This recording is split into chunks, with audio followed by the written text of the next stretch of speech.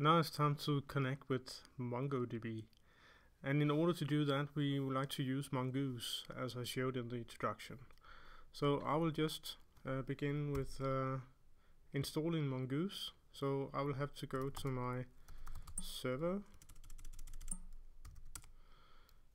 to my source, and then to my server. And here I would like to npm install mongoose. And I would like to save this in my package JSON so I add dash save. And as we can see here in my package JSON we now have mongoose installed as we can see here. So now we can just use it. And I'll just do some house cleaning up here.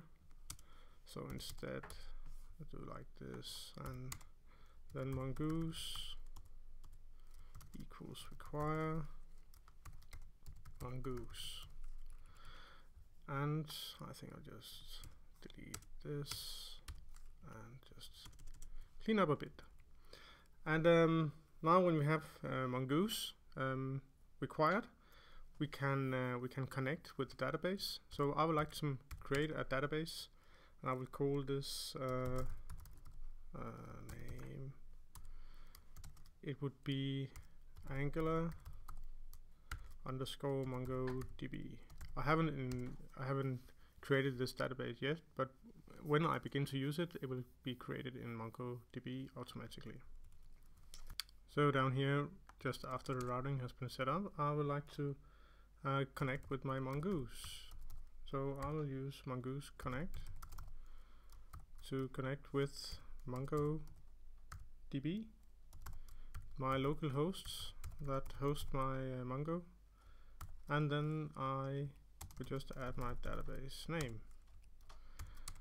Uh, when I have made a connection, I would like to um, use it then, or actually this is only the setup of the connection. Now I will just instantiate it. So I'll make a variable named db, and I'll use my uh, mongoose to get the connection.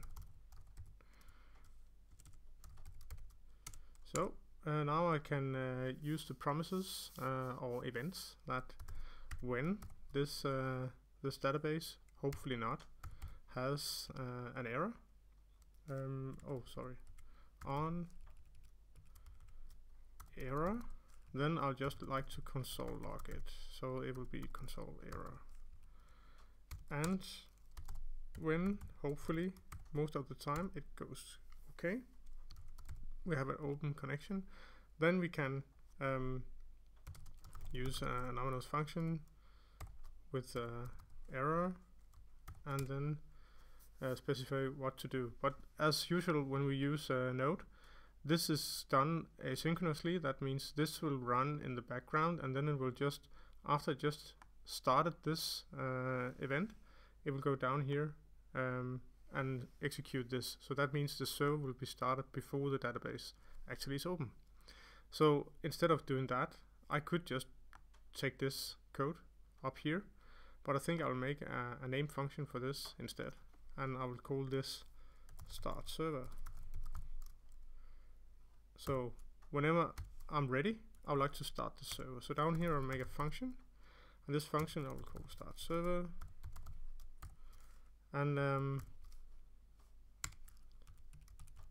this will then hold the same code as before. So let's have a look, see if it uh, works. So I'll put up my terminal and uh, then I will gulp and see if it's working. No, we have an error actually.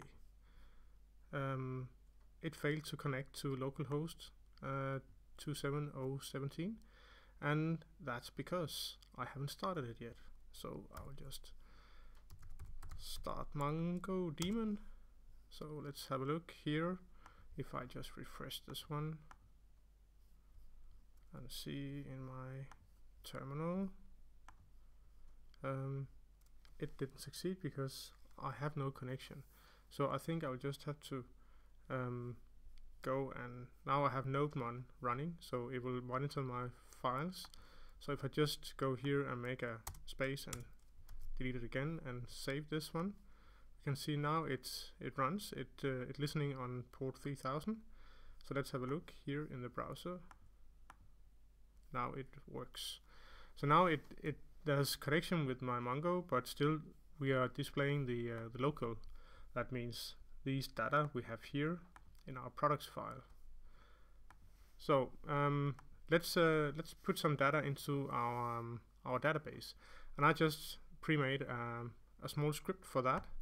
This one, um, I'll not go through this. I'll put it on GitHub so you can just uh, take it to use it as yours. Uh, but it, it does uh, the thing that uh, it deletes the products that might be in the, in the database and then just insert one product, uh, as we can see here. I'll come back to how to use schemas and models in the next video. So I'll go and uh, and run this. Uh, I think uh, I have to uh, take this code and add it to my server here.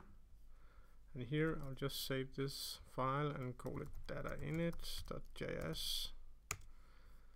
And inside here I'll just paste this code. So I can just close this one. And um, save this and then I will go here to my note. And um, in here I'll just make a, a new tab.